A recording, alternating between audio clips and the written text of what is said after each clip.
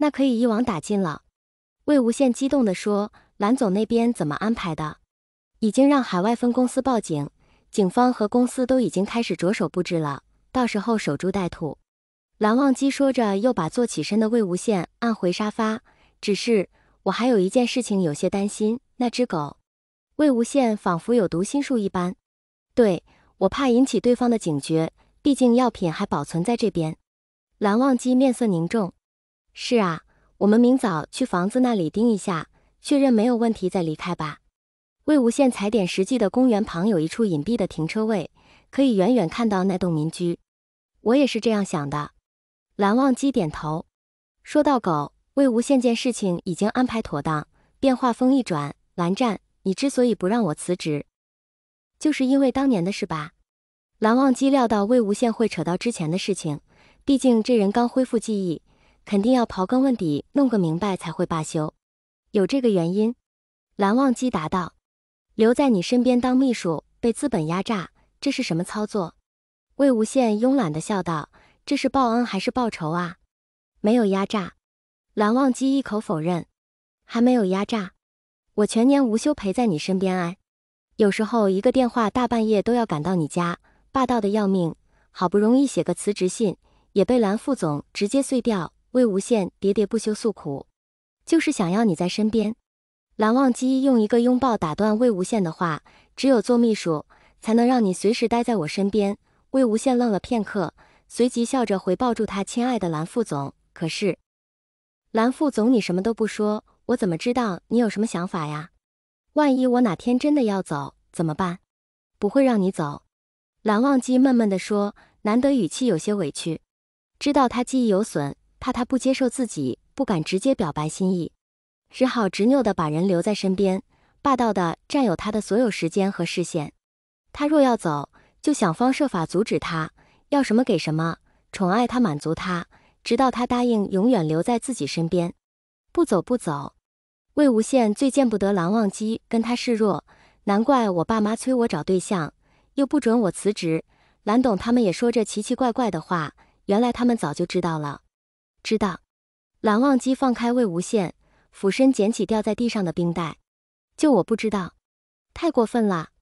魏无羡佯装生气，而且，蓝湛你又没忘记，干嘛没来找我呀？我想来的，蓝忘机低着头，温柔的给魏无羡敷脚。但你失去记忆，母亲便劝我暂时不要靠近你。魏无羡一时没了话语，呆呆看着蓝忘机。后来母亲陪我出国读书，他说只有自己强大了，才能保护好自己心爱的人。蓝忘机转过身，轻轻抚摸魏无羡的脸颊。虽然不算强大，但现在可以让我保护你吗？魏婴，你还不算强大。魏无羡鼻子一酸，歪着头拉过蓝忘机的手，把鸡亲了一口。二哥哥，你是我见过最温柔、最强大的人，救命之恩要以一生相报。魏秘书，我以后就拜托给蓝副总保护了。说好了。蓝忘机勾了勾魏无羡的小指，好幼稚啊，蓝副总，跟你学的。母亲，我想去找魏婴。病床上刚刚康复的蓝忘机对蓝夫人说：“这儿先不要去打搅他。”蓝夫人脸色沉重，魏婴惊吓过度，已经忘了那天的事，只会本能的怕狗。我会陪着他，安慰他。蓝忘机胸口一阵疼痛，起码现在别去。要是你去了，让他想起那些事，情况更严重了怎么办？蓝夫人叹了一口气，轻轻握住小儿子的手。以后有的是时间，不是吗？魏婴，他真的忘了我吗？蓝忘机再次抬起头，眼眶红红的。魏婴忘记的。是那件可怕的事情，他并不想忘记这儿。蓝夫人温柔地擦掉小儿子眼角的泪水，以后用更美好的方式再次遇见，不是更好吗？说通心意后，魏无羡终于名正言顺窝在蓝忘机怀里，舒舒服服睡了一夜。第二天一早就精神百倍收拾东西，跟着蓝忘机去盯梢了。说是盯梢，其实就是蓝忘机一个人在盯。蓝忘机担心魏无羡的脚。放倒副驾驶座，让他躺在车里休息。昨晚在蓝忘机的精心照料下，魏无羡的脚踝已经不肿了。而且今天需要躲起来，魏无羡也终于告别了那套女装。表白心迹后，蓝忘机再也不掩饰对魏无羡的宠溺，一大早就准备一堆吃的喝的，生怕这人饿着了。魏婴来了，魏无羡立马坐起身，透过公园葱葱郁郁的树木，费了一些精神才看到一辆小卡车停靠在那栋民居前面。几个人下车后，鬼鬼祟祟看了一下周围，确认没人后才进屋搬运药品。看来没被发现。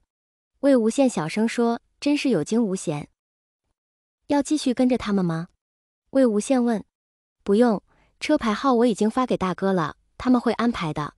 蓝忘机低声说：“我们直接回法兰克福等消息。”搬运完药品后，对方开着卡车离开小镇，那栋民居又恢复平静。蓝忘机等了快二十分钟，才启动车子，载着魏无羡回法兰克福。